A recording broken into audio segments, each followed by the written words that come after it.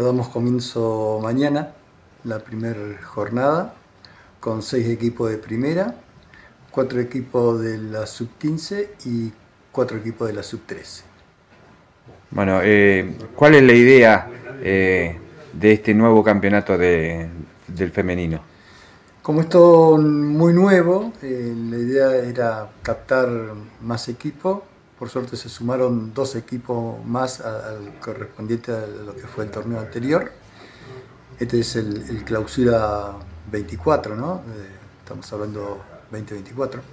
Así que es poder crecer ¿no es cierto?, tanto en, infantiles y en, lo que es todo primera división.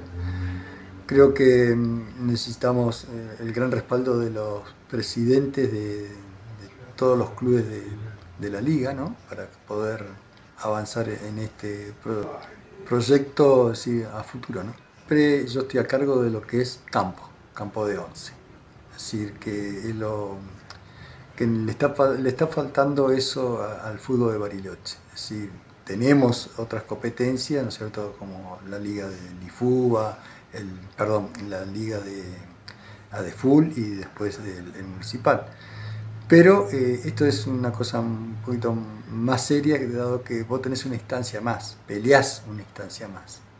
Esto siempre estamos diciendo que al, al, al jugar en la Liga de Bariloche tenés posibilidad de ir alcanzando otros niveles a nivel Argentina. Exacto, a nivel Argentina. Y el crecimiento como pasó en el, en el futsal, que fue, es el boom hoy, eh, tenemos que tratar de también en el fútbol femenino ir un poquito más arriba, porque hay torneos importantes que la AFA te, lo baja esas líneas.